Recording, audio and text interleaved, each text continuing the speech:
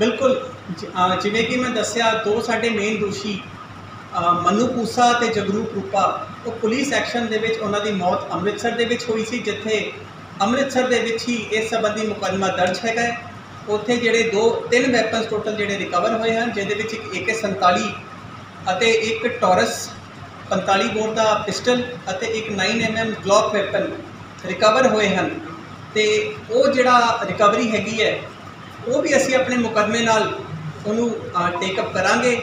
Forensic labs ਦੇ ਵਿੱਚ ਜਿਹੜੀ ਵੈਪਨਸ ਦੀ ਜਿਹੜੀ ਜਾਂਚ ਮਿਲਣ ਦੀ ਜਿਹੜਾ ਕਰਾਇਆ ਜਾਊਗਾ ਤੇ ਸਪਲੀਮੈਂਟਰੀ ਚਲਾਨ ਦੇ ਵਿੱਚ ਸਾਰਾ ਮੇਲ ਕਰਾਉਣ ਤੋਂ ਬਾਅਦ ਹੀ ਜਿਹੜਾ ਸਪਲੀਮੈਂਟਰੀ ਚਲਾਨ ਦਿੱਤਾ ਜਾਊਗਾ ਕੁੱਲ ਕਿੰਨੇ ਗਵਾਹ ਰੱਖੇ ਨੇ ਸਰ ਜਿਹੜਾ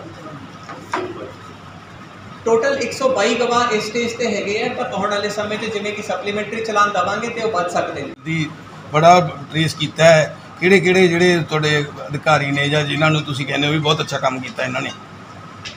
ਨਹੀਂ ਇਹ ਸਾਰੀ ਅ, ਜਿਹੜੀ ਸਿੱਟ ਟੀਮ ਹੋ ਗਈ ਜ਼ਿਲ੍ਹਾ ਪੁਲਿਸ ਹੋ ਗਈ ਐਂਟੀ ਗੈਂਗਸਟਰ ਟਾਸਕ ਫੋਰਸ ਹੋ ਗਈ ਕਾਊਂਟਰ ਇੰਟੈਲੀਜੈਂਸ ਵਿੰਗ ਹੋ ਗਈ ਤੇ ਵੱਖ-ਵੱਖ ਹੋਰ ਜਿਹੜੇ ਵਿੰਗਸ ਹੈਗੇ ਪੰਜਾਬ ਪੁਲਿਸ ਦੇ ਸਾਰਿਆਂ ਨੇ ਇਕੱਠੇ ਹੋ ਕੇ ਬਹੁਤ ਹੀ ਵਧੀਆ ਤਰੀਕੇ ਨਾਲ ਤਾਲਮੇਲ ਕਰਕੇ ਜਿਹੜਾ ਇਹ ਕੰਮ ਕੀਤਾ ਹੈਗਾ ਹੈ, ਤਾਂ ਹੀ ਬਹੁਤ ਘੱਟ ਸਮੇਂ ਦੇ ਵਿੱਚ ਇੰਨੀ ਜਿਹੜੀ ਕਾਮਯਾਬੀ ਇਸ ਵੱਡੇ ਸੰਗੀਨ ਜੁਰਮ ਦੇ ਵਿੱਚ ਸਾਨੂੰ ਮਿਲ ਚੁੱਕੀ ਹੈ। ਸਾਡੇ ਲਈ ਬਲਾਈਂਡ ਮਰਡਰ ਸੀਗਾ, ਜਿਹਦੇ ਵਿੱਚ ਜਿਹੜੇ ਚਾਰ ਸ਼ੂਟਰ ਸੀਗੇ, ਉਹ ਬਾਹਰਲੇ ਸਟੇਟਾਂ ਦੇ ਸੀਗੇ ਤੇ ਦੋ ਸ਼ੂਟਰ ਜਿਹੜੇ ਸੀਗੇ, ਉਹ ਪੰਜਾਬ ਸਟੇਟ ਨੂੰ ਬਿਲੋਂਗ ਕਰਦੇ ਸੀਗੇ। ਇੱਕ ਬਲਾਈਂਡ ਮਰਡਰ ਸੀਗਾ, ਕਿਸੇ ਨੂੰ ਕੋਈ ਪਛਾਣ ਨਹੀਂ ਸੀਗੀ। ਪਰ ਸਿੱਟ ਵੱਲੋਂ ਏਜੀਟੀਐਫ ਵੱਲੋਂ ਅਤੇ ਪੰਜਾਬ ਪੁਲਿਸ ਦੇ ਵੱਖ-ਵੱਖ ਵਿੰਗਸ ਦੇ ਵਿੱਚ ਤਾਲਮੇਲ ਦੇ ਹੋਣ ਕਰਕੇ ਹੀ ਇਹ ਜਿਹੜੀ ਕਾਮਯਾਬੀ ਸਾਨੂੰ ਬਹੁਤ ਘੱਟ ਸਮੇਂ 'ਚ ਮਿਲ ਸਕੀ ਹੈ। ਸਰ ਕੋਈ ਦੇ ਨਾਲ ਕੋਈ ਹੋਰ ਚੀਜ਼ ਵੀ ਬਰਾਮਦ ਹੋਈ ਹੈ? ਹਥਿਆਰਾਂ ਤੋਂ ਇਲਾਵਾ ਕੋਈ ਹੋਰ ਚੀਜ਼ ਵੀ ਬਰਾਮਦ ਹੋਈ ਹੈ ਮੌਕੇ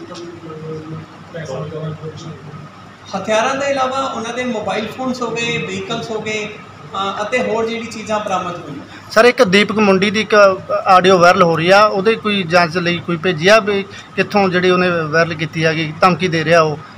ਨਹੀਂ ਬਿਲਕੁਲ ਇਹ ਅਸੀਂ ਅਨਵੈਰੀਫਾਈਡ ਜਿਹੜੀ ਇਹ ਵੌਇਸ ਹੈਗੀ ਹੈ ਇਹਨੂੰ ਅਸੀਂ ਪਰ ਅਸੀਂ ਵੈਰੀਫਾਈ ਕਰਾ ਕੇ ਅ, ਇਹਦੀ ਜਿਹੜੀ ਕਲੈਰਿਟੀ ਅਸੀਂ ਲੈ ਲਾਂਗੇ ਨਹੀਂ ਬਿਲਕੁਲ ਅ, ਜਿਵੇਂ ਕਿ ਪਹਿਲੇ ਹੀ ਦੱਸਿਆ ਅ, ਬਹੁਤ ਹੀ ਪਰਿਵਾਰ ਵੱਲੋਂ ਇਹਨੂੰ ਇੱਕ ਬਹੁਤ ਹੀ ਡੂੰਘੀ ਜਿਹੜੀ ਸਾਜ਼ਿਸ਼ ਦੱਸੀ ਗਈ ਹੈ ਤੇ ਸਿੱਟ ਵੱਲੋਂ ਇਸ ਚੀਜ਼ ਨੂੰ ਬਹੁਤ ਹੀ ਗੰਭੀਰਤਾ ਨਾਲ ਲਿਆ ਜਾ ਰਿਹਾ ਹੈਗਾ ਹੈ।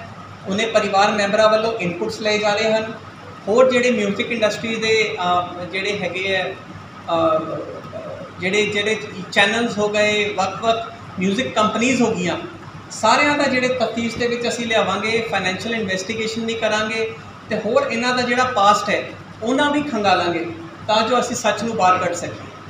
ਸਰ ਹੁਣ ਤੱਕ ਜਿੰਨੀ ਇਨਵੈਸਟੀਗੇਸ਼ਨ ਹੋਈ ਹੈ ਤੁਸੀਂ ਸਿੱਧੂ ਮੂਸੇਵਾਲੇ ਦੇ ਪਰਿਵਾਰ ਨੂੰ ਬਾਰ-ਬਾਰ ਮਿਲਦੇ ਵੀ ਰਹੇ ਹੋ। ਕੀ ਉਹ ਸੰਤੁਸ਼ਟ ਨੇ ਤੁਹਾਨੂੰ ਜਿਹੜੇ ਪੰਜ ਨਾਮ ਪਾਉਣ ਤੋਂ ਬਾਅਦ ਕੀ ਕਹਿ ਰਹੇ ਨੇ ਤੁਹਾਨੂੰ? ਨਹੀਂ ਬਿਲਕੁਲ ਕੱਲ ਸਿੱਧੂ ਮੂਸੇਵਾਲੇ ਦੇ ਪਰਿਵਾਰ ਨੇ ਇੱਕ ਕੈਂਡਲ ਮਾਰਚ ਵੀ ਕੱਢਿਆ ਸੀ। ਉੱਥੇ ਵੀ ਉਹਨਾਂ ਨੇ ਇਹੀ ਕਿਹਾ ਸੀ ਕਿ ਜਿਹੜੇ ਉਹ ਤਫਤੀਸ਼ ਦੇ ਨਾਲ ਪ੍ਰਸ਼ਾਸਨ ਦੇ ਨਾਲ ਸੰਤੁਸ਼ਟ ਨੇ। ਤੇ ਅੱਗੇ ਵੀ ਅਸੀਂ ਇੱਦਾਂ ਦਾ ਤਾਲਮੇਲ ਬਣਾ ਕੇ ਹੀ ਚੱਲਾਂਗੇ ਤੇ ਅਸੀਂ ਪੂਰੀ ਕੋਸ਼ਿਸ਼ ਕਰਾਂਗੇ ਕਿ ਛੇਤੀ ਤੋਂ ਛੇਤੀ ਜਿਹੜਾ ਸਿੱਧੂ ਮੂਸੇਵਾਲੇ ਦੇ ਪਰਿਵਾਰ ਨੂੰ ਇਨਸਾਫ ਦਿਵਾਇਆ ਜਾ ਸਕੇ।